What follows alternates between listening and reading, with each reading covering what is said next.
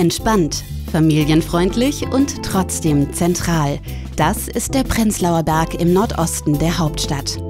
Der einst ziemlich heruntergekommene Ostbezirk ist heute einer der gefragtesten Stadtteile Berlins. Bald nach der Wende begannen im Prenzlauer Berg umfangreiche Sanierungsarbeiten. Von den einst überwiegend maroden Häusern ist wenig geblieben.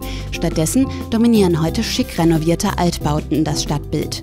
Besonders beliebt die Wohnungen rund um den Kollwitz und den Helmholtzplatz. Ganz billig wohnt es sich hier allerdings nicht.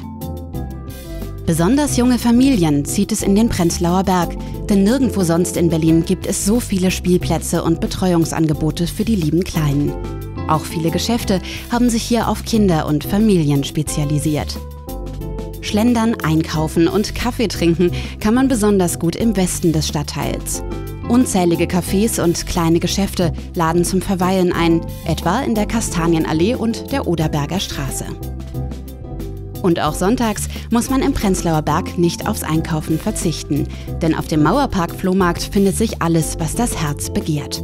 Hierher zieht es Touristen und Anwohner gleichermaßen, ob zum Stöbern oder zum Freundetreffen. Wem der Andrang im Mauerpark zu groß ist, der entspannt sich im Volkspark Prenzlauer Berg. Hier ist es erstaunlich ruhig und man kann wunderbar spazieren gehen.